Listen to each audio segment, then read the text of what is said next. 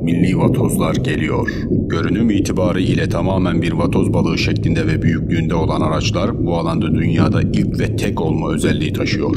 Üzeri tamamen hayvansı bir görünüm sağlamak amacıyla silikon kaplanan vatozlar 300 metrenin altında tespit edilemiyor. Sidalar su altında balina, yunus balığı gibi hayvanların çıkardığına benzer nitelikte kriptolu akustik ses dalgaları ile kontrol ediliyor. Elektromanyetik kalkan ile kendini diğer deniz canlılarından koruyabiliyor. Çalışma mantığı hareketli bir mayın olarak da değerlendirilebilecek vatozlar 10 kilometre hıza ulaşabiliyor. Sonar ve radar teknolojilerine yakalanmıyor. Göz kısmında iki kamera mevcut. 3 entegre motor sistemi ile çalışıyor. Taşıyacağı bomba ortalama 10 milyar dolar değerindeki bir uçak gemisini yok etme gücünde olacak. Silikon kaplı diş gövdeleriyle canlı bir vatoz balığı ile hemen hemen aynı görünüm, boyut ve hareket yeteneğine sahip olmalarının yanı sıra uyku modunda deniz zemininde hareketsiz durabilme özelliği ve sinyal emici boya ile kapanmış iç kabukları sayesinde radarlar tarafından ne deniz zemininde ne de hareket halindeyken tespit edilebilmesi olanaksız olan sidalar, kara sularımızda olası bir saldırı anda hedefteki bir denizaltıyı ya da savaş gemisini batırmaya sebep olacak bir bombayı söz konusu hedefe ulaştırma ve patlatma özelliğine de sahip olacaklar. Üzerindeki elektromanyetik mıknatıslarla söz konusu hedefe yapışıyor ve hedefi imha edebiliyor. Ülkemiz zor bir dönemden geçiyor. Onun için bu ülkede bizler de bir şey yapabilir miyiz?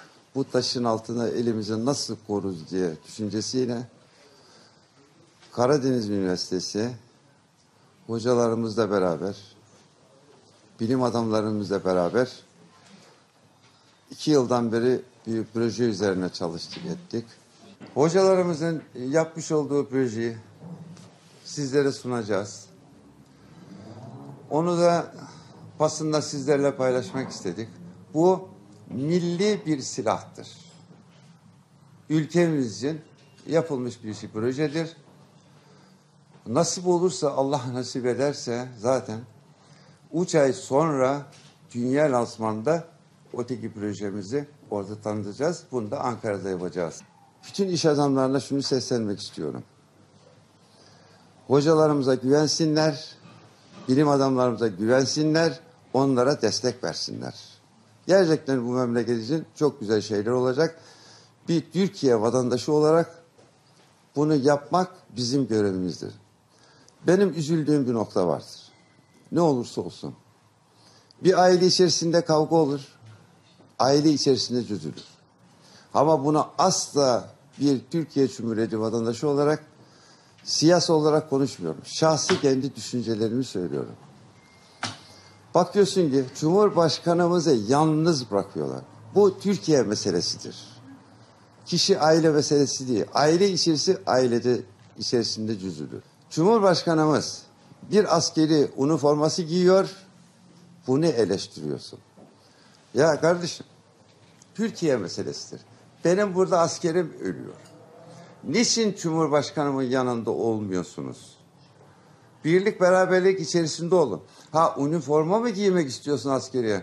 Cumhurbaşkanımla beraber gittiğinde sana yok mu dedi. Öyle bir şey yok.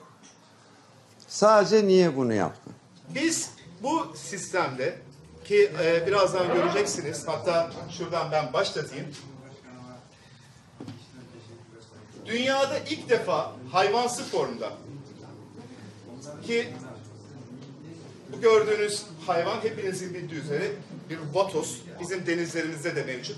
Tamamen bir vatoz formunda, büyüklüğünde ve şeklinde olmak üzere akustik ses dalgalarıyla hareket eden ve aynı zamanda e, yine telemetrik e, akustik e, koordinat GPS sistemiyle e, koordine edilen e, bir insansız deniz aracı, silahlı insansız deniz aracı geliştiriyoruz arkadaşlar.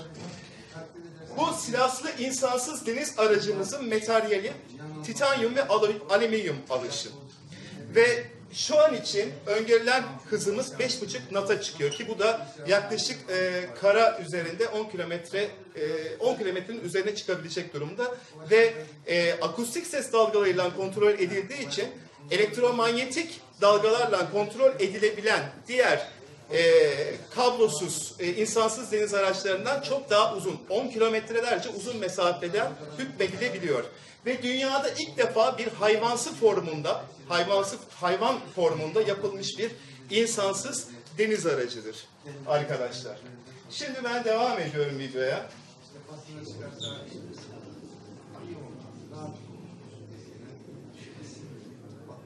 Aynı zamanda boyutlarının ve formunun tamamen bir vatozla hemen hemen aynı formda, aynı ebatlarda ve aynı eee, biçimde olduğu için de şurada kesmek durumundayım. Ve deniz zeminine, deniz zemininde bekleme modunda kalabildiği için ki 12 saat boyunca sürekli hareket edebiliyor.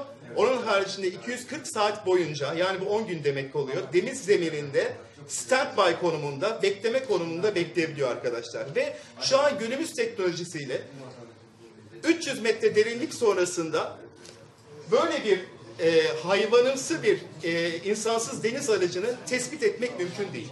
Üzeri silikon kaplı tamamen şu gördüğünüz hayvansı form vermek için üzerini silikonla kapladık. İçinde ise bu silikonun içerisinde ise özür dilerim de bu bittikten sonra alacağım sorularınızı. Silikonun içerisinde ise sinyal emici e, boyayla kaplı. Radarlar, radarların e, alanına girmemesi için ki dediğim gibi bu boyutta, bu boyutta ve şu anki günümüz e, sonar ve radar teknolojileri bunun hayvan ayrımını yapamamaktalar. Videoya devam ediyorum. Şu an e, gördüğünüz Yani e, hayvan diğer... gibi algılanabiliyor. Efendim? Hayvan gibi algılanabiliyor. Hayvan, evet form ve biçim olarak tamamen vatozlar aynı ve form ve Ve biçimde. şu an Şimdi tabii izlediklerimiz hali hazırda yapılmış olan silahlarımız değil mi? Hayır. Şu an için prototip çalışmamız hummalı şekilde Karadeniz Teknik Üniversitesi'nde devam ediyor. Biz yani Allah orijinal nasip... mantaları izliyoruz şu anda değil mi? Efendim? Evet, orijinal vatozları izliyorsunuz.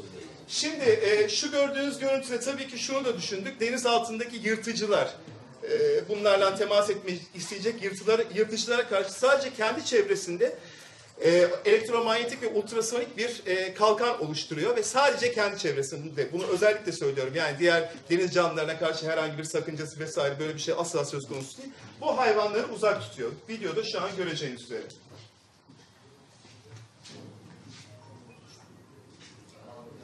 E, isterseniz geri sarabilirim görmediyseniz. Elektromanyetik bir e, alan açtı ve köpek balığını kaçırdı. Eğer görmediyseniz geri sarabilirim. Evet e, bunlar e, savaş gemilerinden kumanda ediliyor. Şu an için şöyle izah edeyim. Ülkemize bakın ilk etapta biz bunu ilk etapta bir denizaltı gözlem aracı olarak geliştirdik. Ancak eğer karasularımızda herhangi bir saldırı ile karşılaştırır isek Vatozumuz Milli Savunma Bakanlığı'nın tasarrufunda herhangi bir çeşit bombayı taşıma kapasitesine uygun olduğu müddetçe ki bazı konularda biliyorsunuz bu uluslararası patentler çok sıkıntılı ve zorlu bir süreç. Onun için bazı konularda yüzeysel bilgi vermek zorundayım. Sonuç itibariyle milli bir projedir. Ee, gizlilikle yürüttük bugüne kadar. Bomba taşıyabiliyor arkadaşlar. Şimdi kara sularımızda bu savaş gemisi bunu e, Allah muhafaza Allah korusun düşman uçağı ve düşman savaş gemisi olarak addedelim.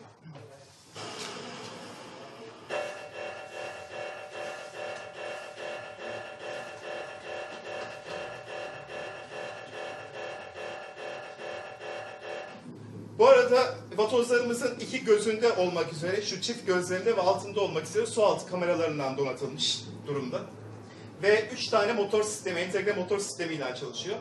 Şu an elektromanyetik mıknatıslarla görüyorsunuz o savaş gemisinin altına yapışıyor vatozlarımız. Ve sonucu dediğim gibi yeterli miktarda patlayıcıyla birlikte 10 milyar dolarlık bir uçak gemisini patlatabilecek güce